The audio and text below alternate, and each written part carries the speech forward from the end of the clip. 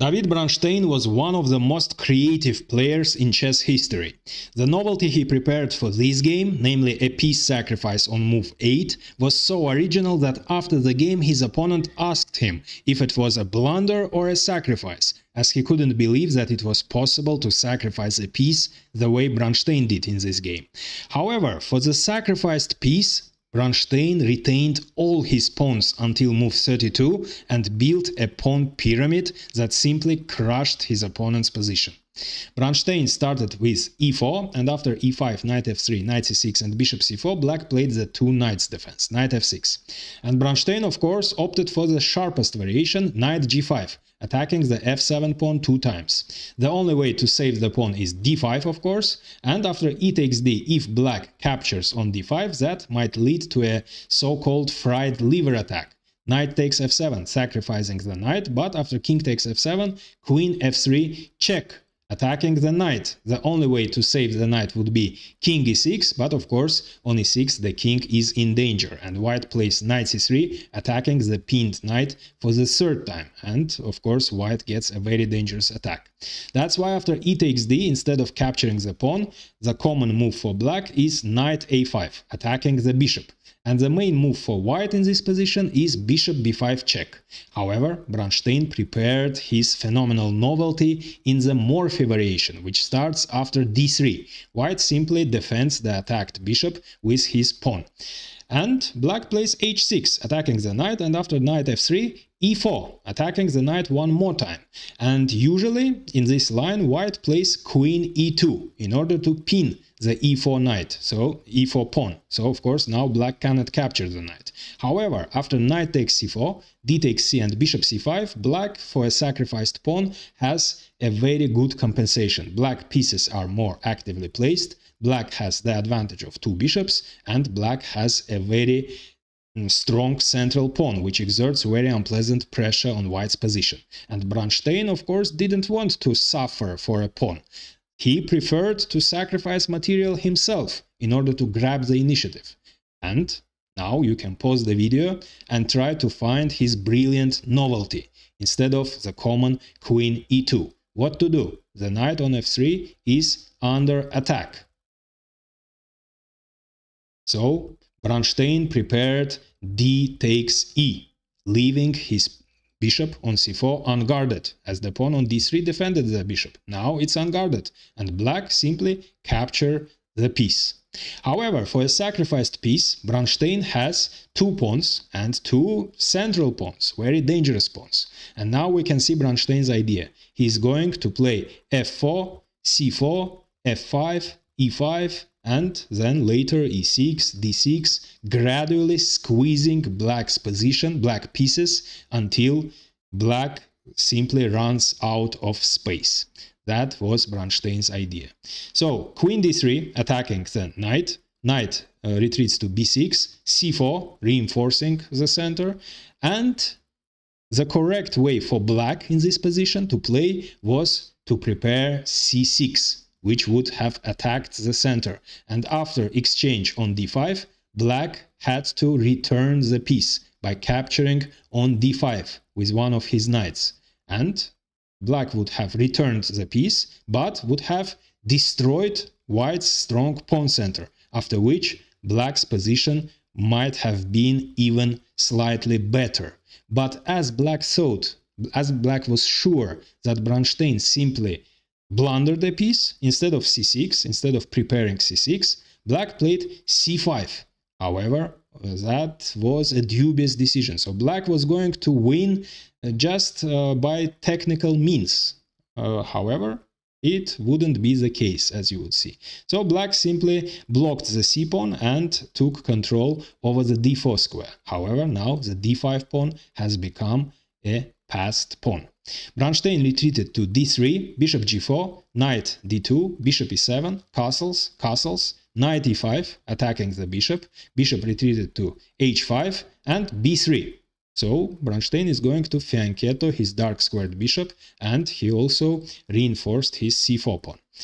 Knight d7, attacking the knight. So black wants to exchange as many pieces as possible in order to ease the pressure.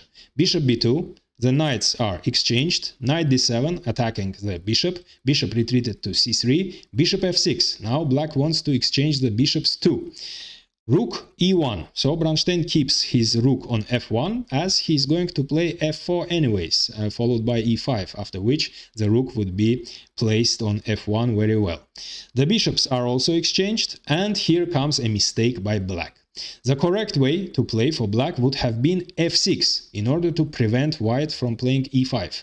However, after f4, white would have still played e5, but after b5, for example, e5, f takes e, f takes e, the f file would have opened, and that would have led to the exchange of a pair of rooks, which would have decreased white's enormous pressure a little bit. But instead of f6, black played queen f6, offering the exchange of the queens. However, this lets Bronstein play e5 with tempo, as the pawn is defended two times and black cannot capture it. So white simply, Bronstein simply advanced his pawn with tempo. Queen f5, f4, bishop g6, now black wants to play queen d3, offering the exchange of the queens one more time, but Knight e4. Now there is no queen d3 anymore. Besides that, Bronstein has created a very unpleasant threat. Knight d6, attacking the queen and also the b7 pawn. Black played rook b8, defending the pawn and possibly preparing b5 in order to get at least some counterplay. Queen f3, bishop h7, g4, attacking the queen. Queen g6, f5. So now, as you see, black has less and less space. Black pieces are cramped now. Queen b6, now the pawn on e5 is under attack, that's why queen g3 defending the pawn. And here comes another mistake by black. Black's position is already very bad, but black could have continued, could have tried to continue the resistance by playing rook e8 in order to attack the e5 pawn and trying to uh, hold this position.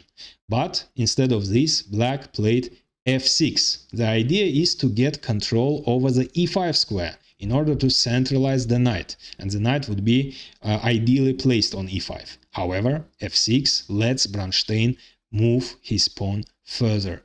e6. Now Bronstein has two connected passed pawns, and he has finished the construction of his majestic pyramid which completely uh, squeezes black's position on the whole board, on the king side and on the queen side and in the center. And as you see, Bronstein has retained all of his pawns. E5, so black uh, achieved what he wanted to. The knight is centralized, however, all other pieces are very passively placed, and the only knight on e5 cannot do anything. And Bronstein continues his pawn storm. h4, king h8, g5, rook c8, king h1, vacating the g1 square for the rook in order to exert very strong pressure on the g file, as this file is uh, going to be open sooner or later. Queen d8 and g6, attacking the bishop. Now, if bishop retreats to g8, then the bishop would be terribly placed on g8, of course. It would be blocked by the white pawns. And besides that, Bronstein has prepared knight takes f6, eliminating the f6 pawn, which defended the knight. Now, if black captures the knight with the rook or with the queen, then of course the knight on e5 would fall. And if g takes f, then of course g7 check with a fork would have followed. So that's why after g6, instead of retreating to g8, black decided to return the piece. Bishop takes g6 in order to at least get some space. But after f takes g, b5, so black wants to create some uh, possible counterplay on the queen side, but d6 of course followed. Now the pawns are very dangerous and white has created an immediate threat, e7, with a fork. That's why black played queen b6. But now d7, of course. If the rook moves, then simply e7 and then one of the pawns, uh, either d pawn or e pawn, would have promoted to the queen. That's why in this position after d7, black decided to uh, give up the knight too. Knight takes d7, e takes d, rook d8. But now the final blow by Bronstein. Knight takes f6. Now, if the rook captures on f6, then simply checkmate on the back rank would have followed. After rook f8, for example, rook takes f8, checkmate. And if g takes f, then of course g7 check with a fork one more time would have followed. That's why black played queen c6 check, but after queen g2, the knight is untouchable of course, and that's why black simply resigned, because after the exchange of the queens and capture on f6, white simply invades the 7th rank with great effect, creating an immediate threat, g7, with a fork, and for example, after king g8, g7 attacking the rook, rook f7, rook e8 check, white is winning. And now I recommend watching the fifth game of the 1951 World Championship match, in which Bronstein made one of the greatest prophylactic moves in chess history. But first, like this video and subscribe, as it's really helpful for the channel growth.